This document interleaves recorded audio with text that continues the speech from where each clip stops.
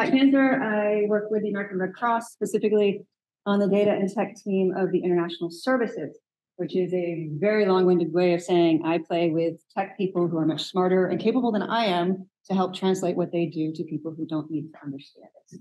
So um, I will, I'm going to talk to you guys today very briefly for 15 minutes uh, about how uh, we have been investing and working with MapSwipe over the last year and a half um, as a, an engagement um, for working with both volunteers as well as with our partners. So without further ado, making sure that okay.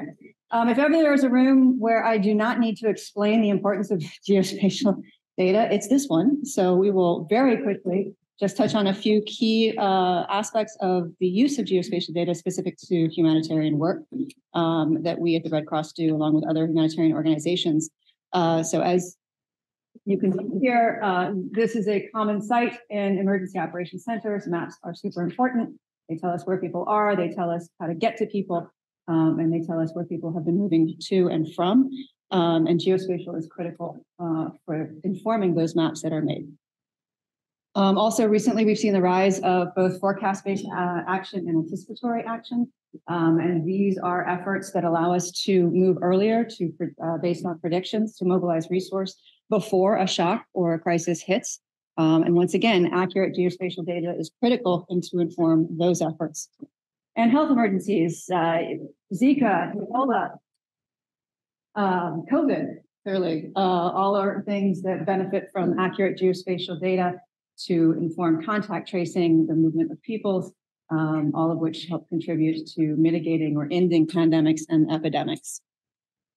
Which all leads the American Red Cross to being a big fan of OpenStreetMap uh, and have been involved in partnering with them uh, from early days. Um, originally in 2014, American Red Cross was one of the co-founders along with HOT, uh, British Red Cross, and MSF in founding the Missing Maps Project. Again, in room, I probably don't need to do too much explanation about the Missing Maps Project, but just put it out there, uh, the that project has the aim of mapping areas that are not mapped. Um, and we've heard a lot of conversations both yesterday and certainly this morning about the importance of um, people and communities being present on the map. And, and if you're not on the map, you don't get counted.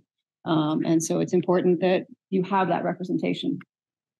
In 2015, a scrappy group of folks, uh, many of whom may be familiar to those here, um, founded MapSwipe. Uh, that was uh, representatives from HeiGIT, uh, British Red Cross, and again, uh, MSF.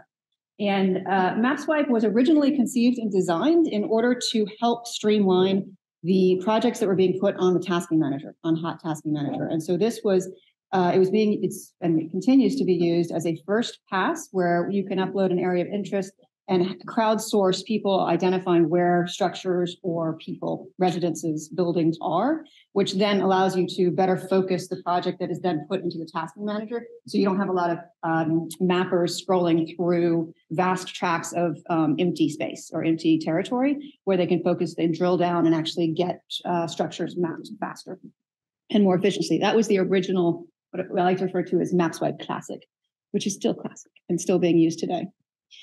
So for the perspective of the American Red Cross, um, we spent many, many years uh, hosting and supporting mapathons, which would bring um, new mappers and new communities uh, to these hot tasking manager. We were hosting uh, mapping projects based on areas of the world that were of strategic interest to the American Red Cross's work and the Red Cross movement in general. Um, interesting enough, what we discovered as things evolve, as they do, things change. That's the only constant is that things change.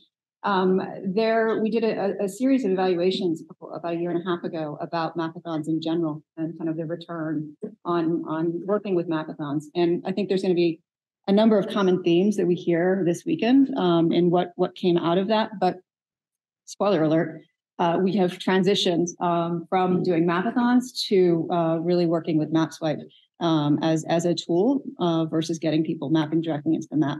So specifically, some of the challenges that we surfaced in that uh, evaluation, again, preaching to the choir a little bit here, I'm sure, um, quality. Um, this mapathons tended to be an opportunity for us to bring sometimes first-time mappers, frequently only-time mappers into the into the space. And while it was a great intro um, and awareness building of, of the importance of open geospatial data and the existence of OSM, um, it's it starts to become challenging to balance that responsible stewardship when you are the one inviting people in and and building their ability to make edits to the map. And at the same time you do have that responsibility to to ensure quality control. And so we were creating a lot of new data and mapping a lot of unmapped spaces. And at the same time, there's this ever increasing load of the need to, to validate that data, and make sure that it's actually useful and fit for purpose. So that kind of balance between quality and validation um, became less less of this and more of that. Um, and then also, I think an interesting aspect of the last couple years, we more and more are seeing um, local communities take responsibility for their own stewardship of their part of the map. And so there's a um, kind of adjacent um, reduction in sort of supply and demand um, when we talk about remote mappers mapping areas versus people who live there who are better able to speak to what's there. Um, and I think a lot of organizations and, and certainly HOT and OSM and other organizations are doing a lot. Youth Mappers is a great example of bringing local communities into that um, activity on the ground where they live, and that that's that's as it should be. Um, so all three of those things sort of got us looking around the landscape. It's like, okay, well, if we're not using mapathons, you know, what's uh, what's out there? And and we knocked on our friend's door who had been playing with MapSwipe and working with MapSwipe, and and we started to get more heavily involved uh, in MapSwipe. Some of the opportunities that we saw with MapSwipe, it's it's mobile based currently, uh, not laptop or computer browser based, um, which has pros and cons. We can debate those. Um, but one of the pros is, as someone said earlier today, you know, uh, smartphones are getting more and more ubiquitous. Um, it's easy to use. People are already familiar with the sort of um, physical components of, of engaging with it. Working with MapSwipe projects uh, on your phone is wildly easy to figure out how to do. There is very little barrier to, to learning or engagement. Certain projects are a little tougher. You're going to hear about one right after I speak, which was brilliant of us to not coordinate, but end up coordinating. So uh, Miriam will be following up with a MapSwipe project in more detail. Um, but most importantly, I think from the quality control perspective, there's no direct interface or edit back with OSM at this point. It is creating an analysis layer, which then can be um, uh, the data output, which can then be integrated into another platform or for another use, either for product or in the case of poor mapping, we could extract uh, what is badly mapped and put it back into the tasking manager to be remapped by perhaps more advanced mappers if it's a difficult area to map, say dense urban area. Um, so the, all of these components led us to uh, engaging more directly with the MapSwipe community and with MapSwipe itself. And so currently, just for those who are unfamiliar, and by the way, while I'm talking, feel free to go to the App Store of choice and download MapSwipe if you have not already. Uh, that will give you something to do on your phones. Um, there are three current types of projects. Uh, find, compare, validate. Find is a nice single marketing one word way of talking about MapSwipe Classic. So that's where you are pushed six tiles um, to assess where an object is or is present in any of those tiles, kind of like the CAPTCHA that we're all familiar with. Um, and so that helps determine where things are. So anything that is visible from satellite imagery, you can have people look for. So that could include uh, infrastructure, buildings, certainly uh, ponds, um, and, and, other items that are currently MapSwipe is only uh, able to support satellite imagery, but there is an ongoing conversation about exploring um, other image sources such as uh, street level or drone. So that's an exciting area to further explore. Compare is uh, also known as change detection. So that's sort of a before and after where users are pushed two images before and after. Um, and that has been used in, in a couple different uh, ways, which I'll share in a minute. Um, but essentially that allows the um, organization who's hosting that project to better determine where change has occurred. And uh, the validation, uh, hold your thought on validation. Uh, I'll get back to that one. But essentially, that one was originally configured to pull in existing mapped data and then have users crowdsource assessment of whether that data is accurate. So is it a good footprint? Um, is it a bad footprint? Um, does it need to be remapped?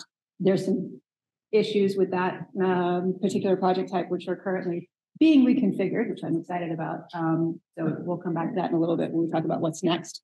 Um, specific examples for each of these. Um, one of the cool ones that just recently happened for the find. Um, there was a nonprofit in India who was very keen to identify where ponds were uh, for inland farmers in order to make available opportunities to stock fish as an income generation uh, project. And they had spent quite a bit of time essentially scrolling through Google Earth to find ponds. And as you can imagine, this was taking a tremendous amount of time. Um, they reached out to the Hot Asia Pacific Hub, uh, and someone there was familiar with MapSwipe, and we all got together and had a little chat. And we ended up um, customizing the find project type, um, put up a, a, project for them, and they have a video out, which is um, I'll, I'll, share the link if anyone's interested. It's it's, it's quite quite fun and enthusiastic. Uh, two minutes, um, but they in about three weeks were able to identify eight thousand five hundred ponds, um, and so that turnaround time was was quite remarkable um, as a as a result. Um, for compare MSF last February, uh, Madagascar got hit by almost simultaneously two different um, cyclones. And they put up a project uh, for change detection where they um, had before, they had access to the satellite imagery before and after and had people assess where um, there was visible flood damage. And then were able to turn that project around fairly quickly in order to inform um, field maps, which were sent out with teams to better prioritize and mobilize resources to get to more of those um, affected areas. Um, Wish I had a case study for Validate. I don't. Catch me next year. Um, but so what's next? Um, we want to do all the things, but we don't have the people or the resources all the time. So what we decided to do, we embarked on earlier this year, was a a stakeholder analysis interview process, and many many Miro post-its were gave their at best in this effort. Um, but we really just wanted to sort of download all of these people's brains who are engaged with MapSwipe, either behind the scenes, in front of the scenes, hosting missions, swiping on mission, um, not missions projects. Um, and where we sort of landed after uh, a deal of discussion and analysis, we're identifying some top priorities.